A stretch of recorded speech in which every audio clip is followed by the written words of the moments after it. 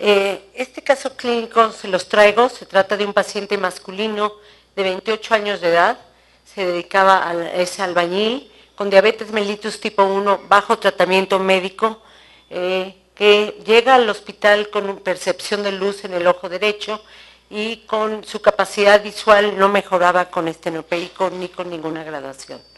Todo su examen de movilidad ocular y reflejos pupilares sean normales, teníamos una córnea transparente, una cámara anterior formada y una tensión ocular de 13 milímetros de mercurio.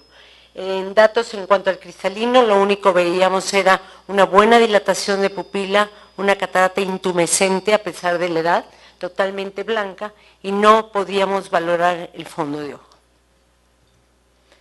Esta es la imagen de cuando llega el paciente a quirófano. Podemos ver que tiene una midriasis tres cuartos, ni siquiera una midriasis eh, media, y vemos una catarata intumescente a pesar de tener 28 años de edad. Entonces, empezamos la cirugía y veamos qué es lo que pasa. Aquí era, se apreciaba una cápsula muy gruesa, entramos con el quistitomo a tratar de romper, veíamos que había una placa en el centro, entonces por eso nos fuimos un poco a la periferia, hacemos prácticamente varios intentos de eh, penetrar la cámara anterior y de tratar de romper la cápsula, y vemos que únicamente notábamos cómo se, como si se estuviera despelando la cápsula anterior, no podríamos realmente perforar, entonces, dado que habíamos hecho ya como cinco o seis intentos, de repente eh, vemos que si hay un pequeño orificio, ponemos viscoelástico y a través de este pequeño orificio, que vemos como dicen la luz al final del túnel, hacemos una pequeña incisión con vanas. ¿Por qué? Porque no podíamos desgarrarlo ni con utrata. Empezamos a lavar y a tratar de quitar este material blanquecino que hay para tratar de iniciar la rexis y volvemos a notar que nuevamente iniciamos la rexis pero no podemos completarla, se nos deshace la cápsula anterior. Entonces aquí la pregunta sería a los panelistas, ¿qué hacen en este caso?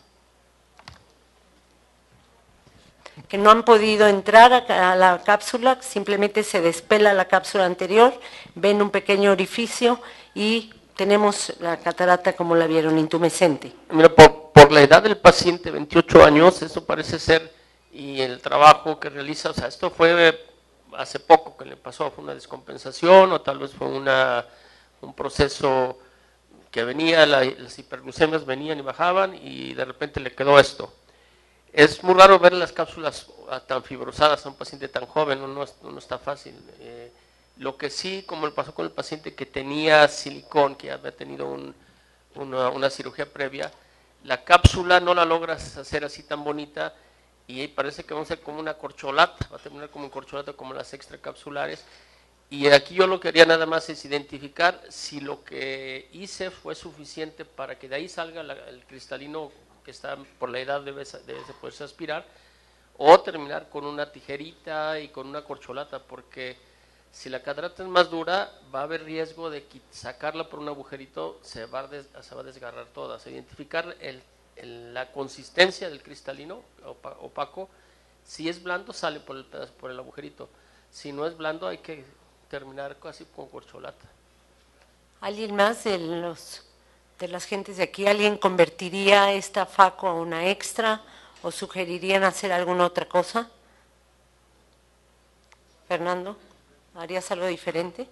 No, nosotros lo que hacemos este, cuando tenemos cápsulas que son muy elásticas, que no se pueden hacer fácilmente, es con la cuchilla de 15 grados o la de un milímetro, este, perforo la cápsula anterior y saco un buen flap para tratar de ahí este, hacer la cápsula con pinza de trata. A veces no se puede porque tampoco jalas y no se no sigue un vector, sino que se tracciona la cápsula completa. Entonces la terminamos haciendo con tijera pero yo en ese momento no, no convertiría únicamente por la, por la dificultad de la cápsula, yo seguiría con el mismo plan, tratando de, de hacerlo con tijera en lugar de pinza. Lo interesante de este caso, antes de pasar a ver cómo lo resolvimos, es eso, que habíamos hecho varios intentos, más de siete intentos de picar, se veía la parte central muy dura, pero no podíamos ver detalles, y habíamos tratado de perforar la cápsula, no lo lográbamos, más que este pequeño orificio en la parte inferior eh, nasal, del ínfero temporal del paciente. En ese momento decidimos meter viscoelástico para tratar de visualizar, ya teníamos la cámara formada y yo tengo la costumbre de cuando no veo y no sé qué está pasando, con exploro el ojo. Antes de hacer alguna otra maniobra más agresiva, decidí tomar un poco de una jeringa con solución para tratar de aspirar esta solución lechosa que salía del cristalino y lavar para ver si con esto me orientaba a qué es lo que estaba pasando. Y aquí es lo que, cómo resolví el caso. Repito, se vuelve a iniciar por la periferia de esta como metaplasia que se ve en la parte posterior y sí vemos como el cristalino se empieza a mover, entonces tampoco lo podemos hacer muy agresivamente por miedo a dislocar la bolsa, ¿no? Lo interesante es que por la edad queríamos tratar de conservar la bolsa íntegra, sobre todo por el pronóstico que le pudiéramos ofrecer al paciente. Aquí es donde poniendo viscoelástico se descubre que hay un pequeño orificio ahí en la parte superior, decido entrar con una jeringa con solución, una vez que abrí un pequeño colgajo ahí con la tijera de vanas, muy difícil porque era muy distal a la incisión. Y ahí entro con la jeringa con agua tratando de aspirar el material lechoso y para mi sorpresa, bueno, este es todavía el intento de tratar de de ahí agarrar y hacer la capsulorexis. Y entonces vemos que la manera en que se resolvió es la emoción, del, como la calenda ayer de que no llega, no llega. Ahí está. Que al entrar con la jeringa con agua, veo que se empieza a lavar el material cristaliniano sin ser, sin ninguna agresión. Resulta que estoy lavando ya la catarata con una jeringa con agua, sin necesidad de meter la punta de faco.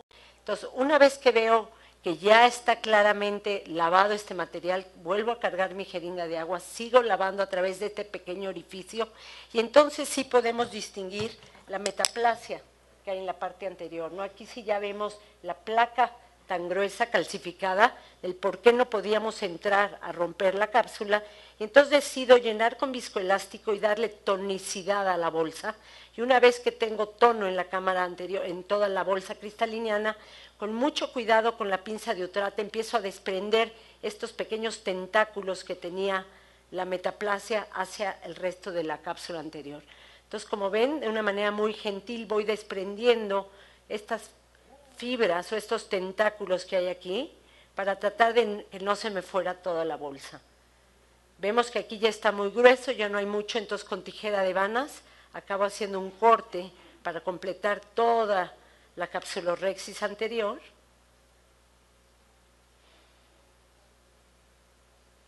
Y dejar realmente lo que viene siendo una capsulorrexicular medio continua en la parte anterior del ojo. Aquí vemos como la cápsula era realmente muy dura, estaba muy calcificada, muy gruesa, realmente ni siquiera se había teñido. Y ya que tenemos la bolsa íntegra, decido inyectar un lente en la bolsa. Y van a ver cómo, a pesar de esta rexis ligeramente irregular, el lente se logra centrar adecuadamente.